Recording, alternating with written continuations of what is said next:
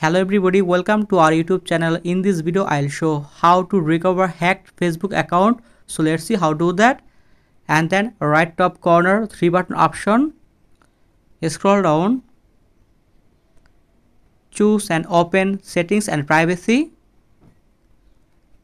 And then settings, open it.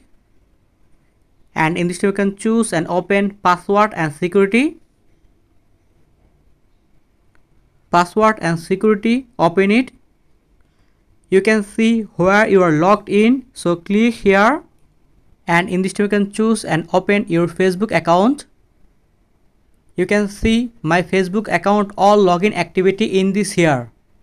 And then choose select device to log out. Click here. Log out on device. And in this you can choose select all. Click on it in this time I can log out or sign out or remove my Facebook account from all devices. And then log out. Are you sure you will no longer be logged in on the selected device?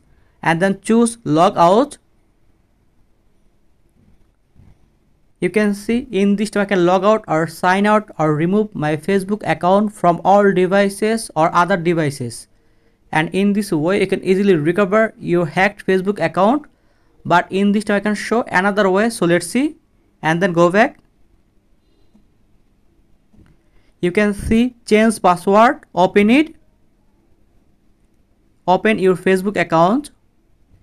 And in this time you can change your facebook password. And in this here write your facebook current password.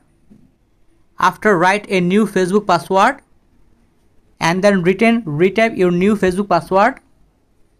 After return a new Facebook password and then you can see change password click on it. And in this way you can easily recover your hacked Facebook account. So thank you very much and please subscribe this channel